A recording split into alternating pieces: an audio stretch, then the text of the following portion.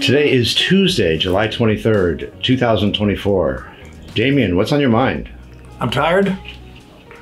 I'm tired. I've, I've been writing at night. And but I've been writing, I mean, last night I was writing from 10 p.m. to about 12, 12.30 a.m. And then I went to bed.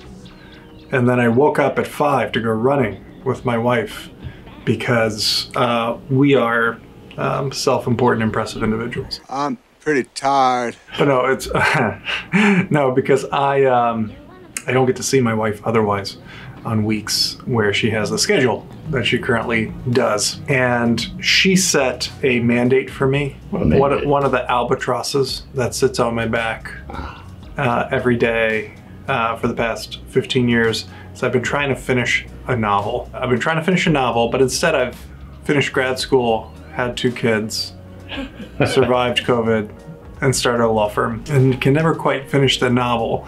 But I'm hoping with you here and with this new creative uh, energy that we have, um, that I can channel that into finishing. So I'm tired because I got four hours of sleep, but my energy's up Up, up, up. up, up, up. So what I want to talk about today, what's what's really on my mind, is the parable of the farmer and his horse uh, from ancient China. This is this is a very common saying in in, in China. It's it's, it's a it's a chengyu. So chengyu are usually four character phrases in Mandarin, Chinese, and um, and they they contain within them uh, a whole lot of wisdom, and they're usually or often. And I don't know if usually is the right word, but often when I studied them, when I studied for my master's in Chinese studies for University of Michigan, Go Blue, you concentrate an entire story, which itself was packed with wisdom, into, into four characters. So in this in this case, Farmer Sai lost his horse. Sai Weng Shi Ma. Sai Weng Shi Ma. And the story goes like this Farmer Sai, he's a millet farmer, and he works very hard for a very long time to save up money to buy a workhorse. Goes to the market one day, buys a horse, brings him back to the field. But that day, after the day's work is done, the horse runs away, essentially taking away years of hard earned wages. Friend says, That's terrible news, uh, friend Sai. Uh, that's terrible news. You worked so hard and you've got nothing to show for it. And Farmer Sai says, could be good news, could be bad, you never know. The next day, Farmer Sai is in his field, and the horse comes back. And the horse brings with him a friend. So now there's two horses. And his son says, Father, this is tremendous good luck. Now we have two horses. We can, you know, just just increase our holdings, increase our yield. This is good news. And Farmer Sai stoically says, you know, son, I don't know. Could be good news, could be bad. They have two horses, so the horses, both horses can't work all the time. Their field is not big enough yet.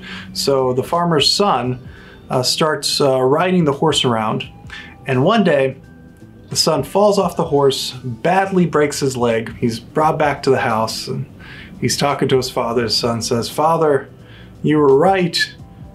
Getting a second horse wasn't good news. I might be a cripple forever now. It was terrible news to, you know, have this horse be brought into our home. And the father says, you know, we don't know. Could be good news, could be bad. And then the emperor turns out is uh, wanting to go to war, and he comes and collects all the young men in the region.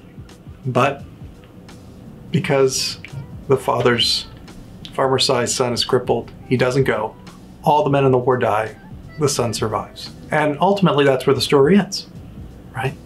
But at no point in these events did you know what could happen. And so I'm thinking about that because we are in, uh, in, in many ways, in this world where, despite having the greatest set of communication tools we've ever had, by greatest, I mean both their number, their power, uh, the sheer insidiousness of some of them, right? They literally change our minds like these loading social media screens. Despite all of that, we still tend to catastrophize. So we see events unfolding in terms of this is our greatest hope and this is our greatest end.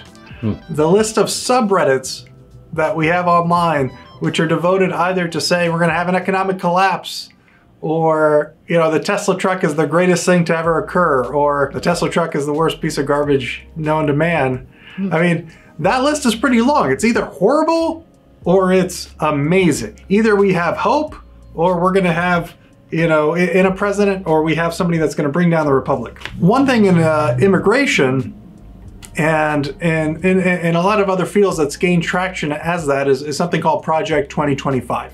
Oh boy. Yeah. Oh no. Have you heard of it? I, I only by name and Uh, marginal marginal notes. Get this, it's 2024 right now. Yes. This project is next year. Okay. So 2024 doesn't have to worry about this project. But Project 2025 is going to define 2025. You see, here, here's what it is it's a Heritage uh, Foundation document, several hundred pages. And in it, it says exactly what some number of people are going to do if Donald Trump becomes president again. And it has very specific plans, which I guess makes it interesting for media and social media and whatever. But the reaction is along two lines. This is the worst thing that could possibly happen. It's going to destroy everything. And uh, oh, this is amazing. We're finally going to see the uh, dream of the Heritage Foundation and its conservative allies realized. And I have to admit, I am in neither of those two camps. If you watched our podcast, uh, 10 Billion People with Marine Able last week, or watched the last Any Given Day episode two episodes ago, I talk about this idea that we, we mistake how human systems actually work, in that we think that they work, but in fact, nothing works. Nothing works. So, so when you when a new law is passed, there's a new constitutional interpretation by the Supreme Court or a federal court or a state Supreme Court when a new regulation is promulgated by one of the many agencies, the human assumption in this country and in other places perhaps, but particularly in this country, is that that new interpretation is going to go atop a working rational system. But that's not the case. In reality, an interpretation of a law or a new regulation that's been created or a new law that's been created is created by people who assume, like economists and policy wonks and other academics, a rational state, a working state within a system, an industry, an administrative agency, a market, whatever. But in fact, they're creating something um, based on false pretense because that whatever doesn't actually work. And so then what you get in effect is a fantasy document, a fantasy regulation, a fantasy Supreme Court interpretation, a fantasy law, meaning they're based on fantasies, and you layer it on top of something that's not working. And so then you get something that's very dystopic in nature, right? Something that needs fixing, but the fix that's come actually doesn't address anything of what's actually wrong, and in fact ends up making things worse, more costly, more complicated. Which means, I think that you shouldn't worry about it. I'm certainly not going to worry about it. Do you know why? Because the only thing that's going to matter at the end is the reality on the ground. Let me tell you. Let me tell you my own story uh, in my life where where I bought a horse. I was an eighth grade, and my homeroom teacher uh, was a very uh, prominent member of our middle school. He was the athletic director. He would visit your classes in science from sixth grade forward, and everybody knew they were like, we want to be in uh, Mr. J's class when we get to eighth grade. He was the science Olympiad instructor, and I was a big science Olympiad guy. Uh, he was a Cub Scout leader. He was the football coach. He was the assistant basketball coach. He was the medical trainer. I mean, this guy loved helping kids. And uh, a lot of kids, I, I- think, really had a high opinion of him, and his co- colleagues had a high opinion of him. I had a really high opinion of him. I admired him. He was my homeroom teacher in eighth grade, even. And on the Science Olympiad project, you know, we, we, we, we I, I had a lot of fun. I learned a lot. He taught this curriculum on DNA.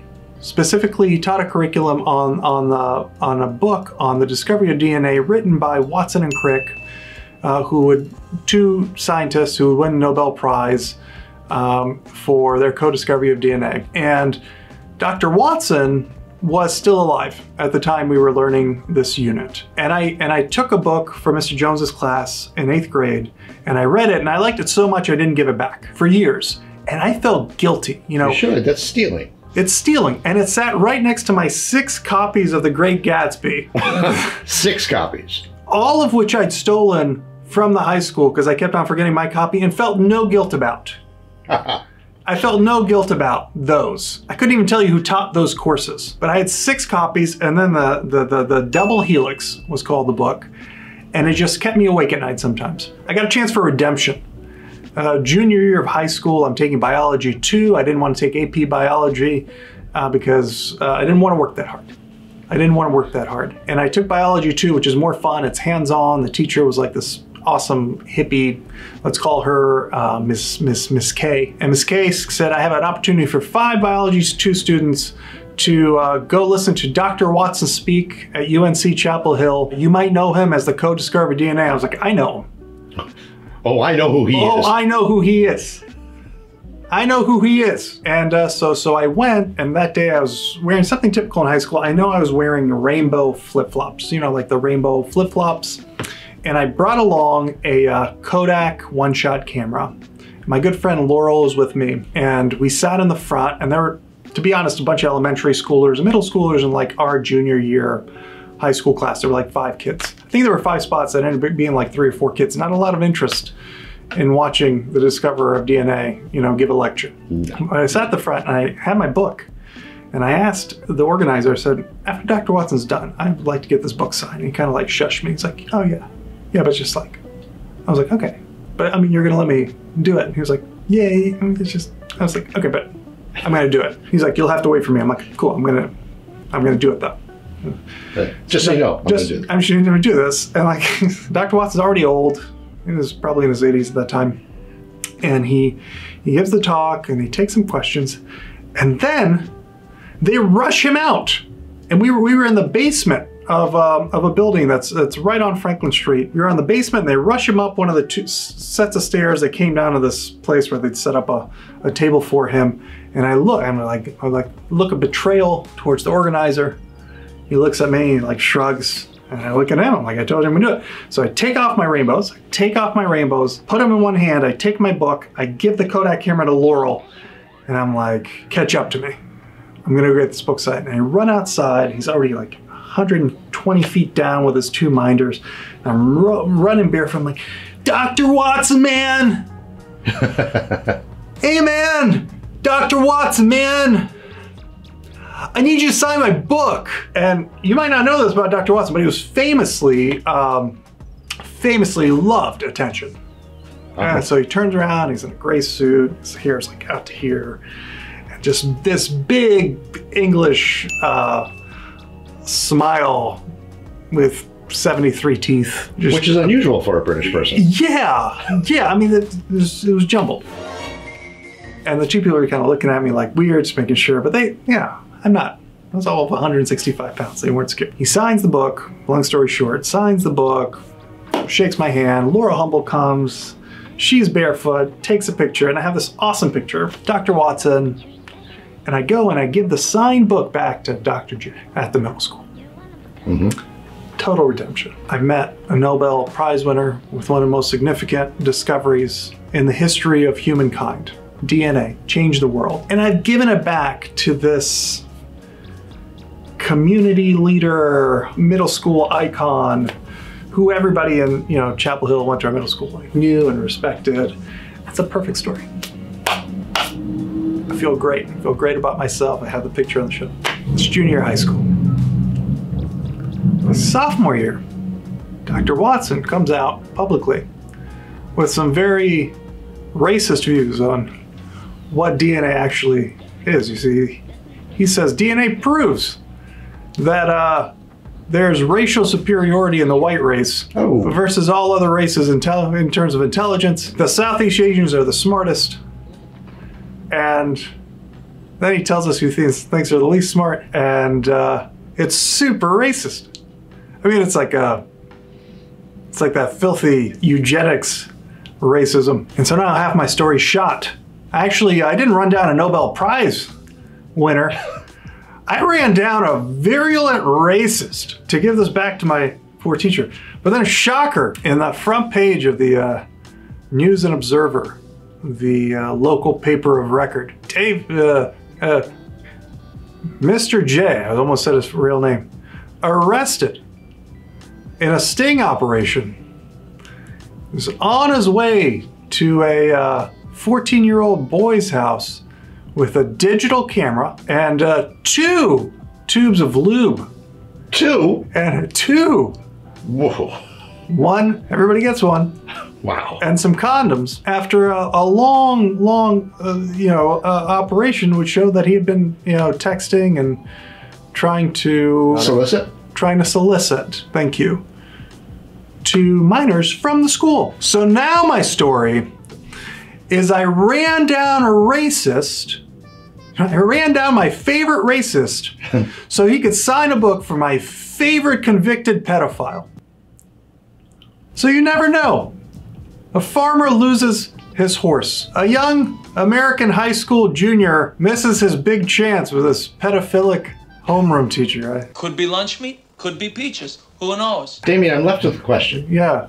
What happened to the six copies of The Great Gatsby? I still got them. I still got them. Those never went back.